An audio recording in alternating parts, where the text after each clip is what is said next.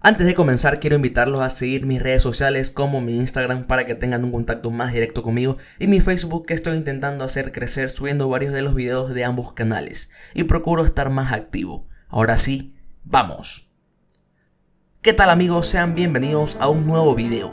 En esta ocasión traemos la parte 2 de los niveles de poder de los villanos de Naruto. Hace algunos días empezamos viendo a los villanos de Naruto clásico, Naruto chiquito, todos los de la serie original y ahora nos toca ver a los villanos principales de Naruto Shippuden. En la descripción podrán encontrar un enlace para que vayan a ver ese video antes de ver este o al terminar este, como quieran y por qué no también un enlace a mi otro canal que tengo varios videos que podrían gustarle. Y bueno, sin más que decir, comencemos.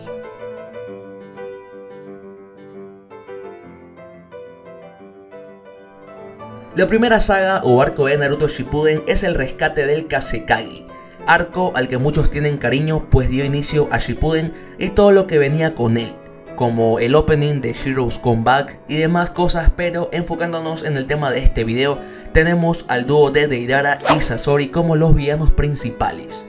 Dos ninjas con personalidades e ideales muy interesantes que contrastaban entre ellos uno creyendo que el verdadero arte se encontraba en lo duradero, mientras que el otro apreciaba el mismo arte o encontraba placer en las cosas instantáneas y pasajeras. Filosofías que pueden ser tema de debate, pero bueno. Sasori y Deidara son ninjas muy poderosos. Deidara un ninja renegado de Iwagakure que poseía el Kege Genkai explosivo. Lo vimos enfrentar y derrotar a Gara el Kasekage de ese entonces, el nivel de poder de Deidara se ubica en el rango de Kage medio. Hay que aclarar que si derrotó a Gara fue más porque Deidara es un gran estratega que supo hacer que la atención de Gara se enfoque en proteger la aldea más que en la pelea. En cambio, en términos de poder, podríamos decir que estaban muy parejos y quizás el Kasekage era algo más poderoso, pues aún protegiendo la aldea, pudo arrancarle un brazo. Pero esto no quita el mérito de la victoria de Deidara que por cierto en este arco no vimos todo su poder. Por otro lado tenemos a Sasori, de quien se dice que era uno de los Akatskis más poderosos.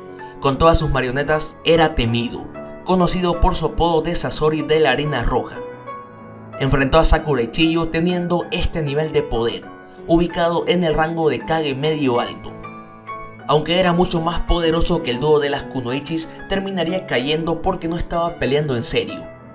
Mucho se habla de esta derrota, hasta algunos piensan que Sasori era débil por perder ante Chiyo y Sakura, pero lo que es oficial es que se dejó matar. Sería una combinación de no pelear en serio, es decir, confiarse, de que Chiyo conocía su estilo de pelea y que mentalmente se rindió y no quiso pelear más. Es una pena que no lo hayamos visto pelear con todo lo que tenía y es por esto que dejamos su nivel de poder en este rango. Recuerden que tenemos un video hablando de la saga del rescate del Kasekage en donde podrán ver todo con más detalle. En el segundo arco de Shippuden tenemos a Orochimaru, Kabuto y Sasuke como los villanos. En esta saga nuestros protagonistas partieron en la misión del puente Telchi en donde intentarían encontrar información para llegar a Sasuke. Cosa que lograron pero en el transcurso se vieron envueltos en algunas batallas contra Orochimaru y Kabuto. Lo más llamativo es el combate de Naruto Cuatro Escolas contra Orochimaru y al final de la saga ver el avance de poder de Sasuke. Los niveles de poder de estos son los siguientes.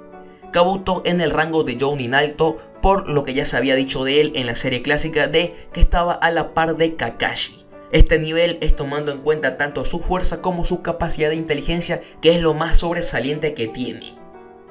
Orochimaru, quien no podía utilizar sus brazos porque habían sido sellados por el tercer Hokage en el pasado, con un nivel en el rango Kage. Y Sasuke, quien tendría un nivel de poder solo con su Sharingan de tres aspas en el rango de Kage bajo, o el rango Sanin. De este arco también tenemos video, así que vayan a verlo. Continuamos con el arco de los inmortales Kakuzu y Hidan, en donde conocimos otro dúo de los Akatsuki bastante peligroso. Por un lado, el verdaderamente inmortal Hidan, quien poseía un nivel de poder en el rango de Jounin alto, pero con una ventaja de su inmortalidad, que lo volvía más peligroso ya que este no se preocuparía de recibir daños, sino que atacaba siendo muy agresivo, sabiendo que no necesitaba más que una gota de sangre para acabar con sus enemigos mediante su ritual. Por otro lado, tenemos a Kakuzu con un poder en el rango de Kage medio alto, quien robaba los corazones de sus víctimas. Demostró poder superar a Kakashi en uno contra uno, pues el ninja que copia necesitó ayuda para no ser asesinado durante el combate. Hidan y Kakuzu serían derrotados por Shikamaru y Naruto con su Rasen Shuriken. Ahora avanzamos hasta el arco de la promesa del maestro y la venganza, arco que se divide en tres escenarios diferentes. El primero en la misión de búsqueda de Itachi en donde Deidara volvería a entrar en escena al enfrentarse con Sasuke, demostrando todo su poder con sus técnicas C4 y C0. Nos mostró tener la capacidad de causar mucha destrucción si se lo proponía, aunque falló en su intento de matar a Sasuke. Obviamente aquí influyó mucho el guion. En el segundo escenario vimos el combate de Jiraiya contra los seis caminos de Pain. Caminos que mostraron lo aterradores que pueden ser, teniendo una fuerza en el rango de leyenda. Y en el último escenario teníamos a Itachi, quien enfrentaría a Sasuke demostrando este nivel de poder, con su Mangekyo Sharingan en el rango de Kage alto, con habilidades muy poderosas como el Amaterasu y Tsukuyomi, y con el Susanoo alcanzaría el rango de leyenda. Ya tenemos video de todas las partes de esta saga que podrán encontrar en la lista de reproducción que está en la descripción. Itachi, aunque demostrando ser más poderoso, caería ante su hermano. La siguiente saga es la mejor de la serie, la saga de Pain, de la cual acabamos de subir su respectivo video. Aquí conocimos el nivel de poder de los caminos de Pain por separado, siendo estos.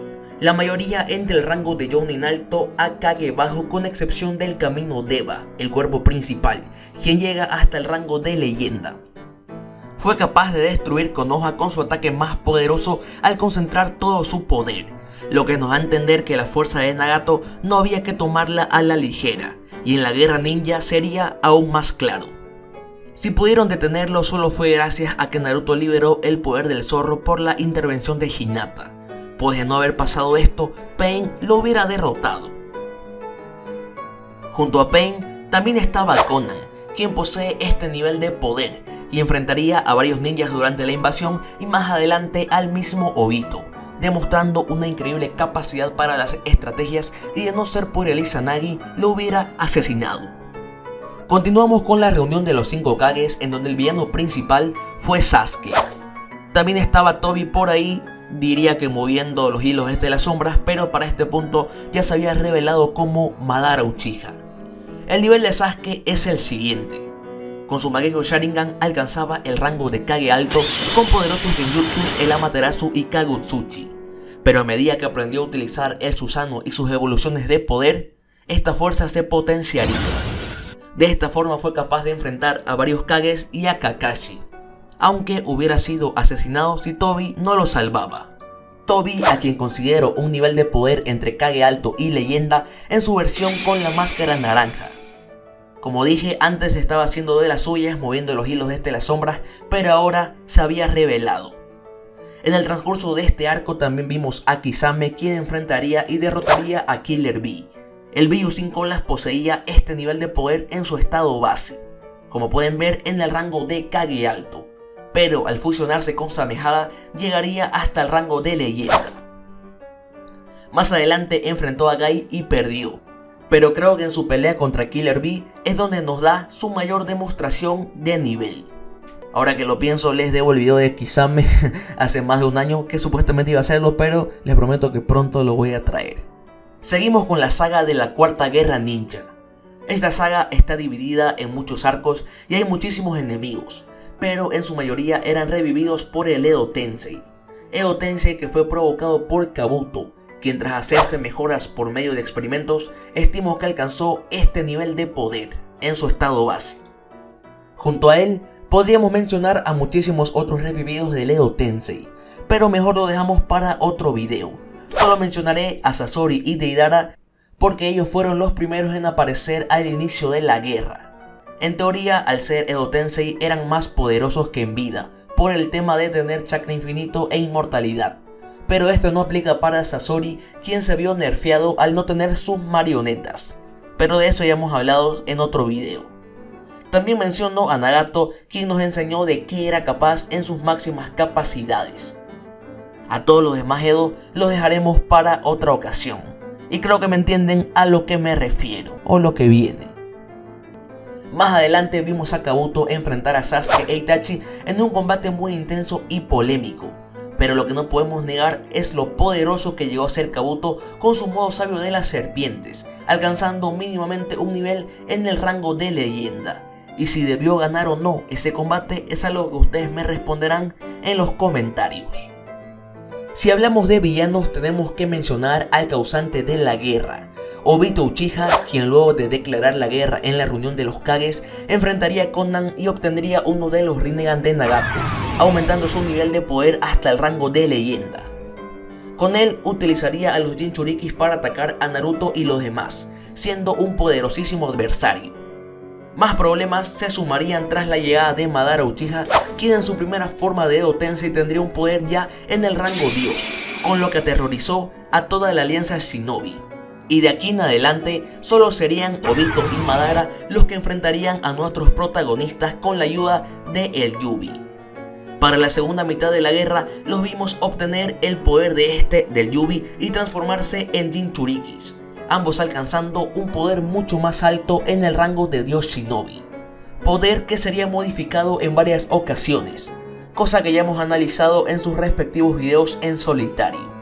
Todo esto para al final tener la aparición de Kaguya quien es sin duda el personaje más poderoso de todo Shippuden. Ya que para derrotarla, bueno, en realidad no la derrotaron, sino más bien la sellaron porque su poder era tanto que no eran capaces de derrotarla, así que la única solución fue recurrir al sello. Aunque todo eso ya lo saben. Finalmente tenemos a Sasuke como el último enemigo. Técnicamente es él, el poder que alcanzó Sasuke en su batalla final contra Naruto es muy cercano al de Kaguya. Esto tras utilizar el poder de los Bijus al combinarlo con su Susanoo, a lo que Naruto necesitó reunir muchísima energía natural entrando en lo que conocemos como el modo Ashura, para contrarrestar el modo Indra de Sasuke. Y tras analizar a Sasuke, habríamos terminado con el análisis de todos los villanos de Naruto Shippuden. Y bueno chicos, hemos llegado al final del video y me parece que abarcamos a todos los villanos o al menos a los principales de Shippuden. Si bien muchos de ellos se repiten y aparecen en las distintas sagas, enfoqué el video solo en los principales o los que yo considero como los principales. Si les gustó el video ya saben lo que tienen que hacer, suscríbanse, dejen su like y activen la campanita que no cuesta nada y así me ayudan muchísimo podrán darse cuenta que en gran parte de los personajes solo mencioné cosas de pasada, es decir, que no fue un análisis muy profundo, porque ya tenemos muchísimos videos hablando de ellos, principalmente de las sagas, los cuales los invito a ver. Por si no lo han visto y si lo vieron y quieren verlo no, vayan que no pierden nada. Un saludo a los miembros del canal, muchas gracias por el apoyo. Se aprecia muchísimo que inviertan en el canal porque gracias a ustedes estoy realizando proyectos que en el futuro voy a revelar. En serio, muchas gracias. Lo mínimo que puedo hacer es saludarlos para agradecerles por tanto apoyo. Gracias a todos los que ven mis videos y sin más que decir, nos vemos.